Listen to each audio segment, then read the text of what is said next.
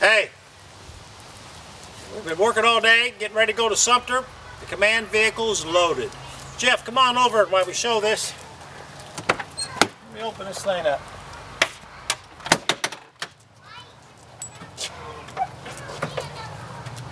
Hundred and fifty plus signs.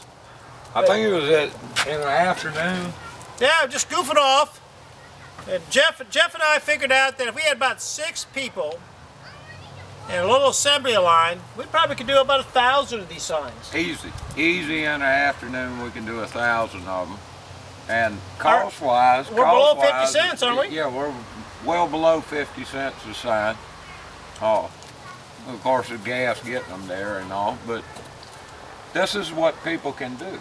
I mean, it, you look at how simple this is, and from a real a distance at 55 miles an hour, these things really make a difference. And they're not made by PACs, they're not made by, you know, some conglomeration in Atlanta or whatever. Nobody's making any money. It's raw materials and painted and, and, and finished up and, and to, to get the message out as cheaply as possible. And nobody's making any money. So it's by far the best way to tell, tell South Carolina and the United States that let's lose Lindsey. Lose Lindsey.